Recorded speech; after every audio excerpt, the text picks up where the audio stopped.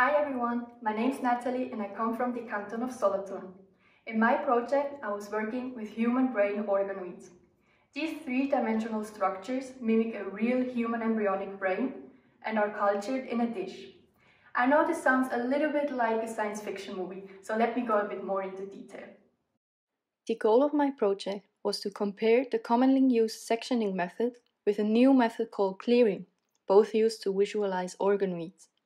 The sectioning results in 30 micrometer thin organoid slices, whereas the clearing turns the small human brain organoids transparent and facilitates the imaging of the whole organoids tremendously.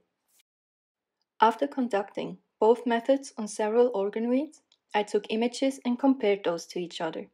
The movies show the inside of cleared organoids, their prominent structures like neurons in red and stem cell populations forming circular structures, so-called ventricles, in green.